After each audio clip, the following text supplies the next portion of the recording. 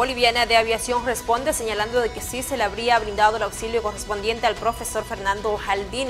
Ahora se están haciendo las gestiones correspondientes para hacer el traslado del cuerpo hasta la capital pandina. ayer hemos tenido esa lamentable noticia, ¿no?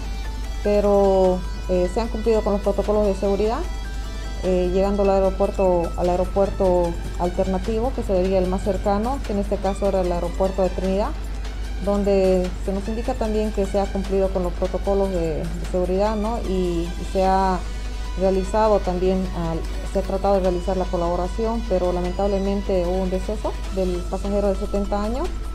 Sin embargo, eh, como ustedes han visto, nosotros vamos a hacer todas las gestiones necesarias como para que el cuerpo ha decidido venir a la ciudad de Cobija entonces, este, Boliviana Aviación va a brindar todo, el, todo, lo, todo lo que esté a la disposición, toda la colaboración necesaria para que el pasajero pueda, el pasajero pueda llegar hasta la ciudad de COVID.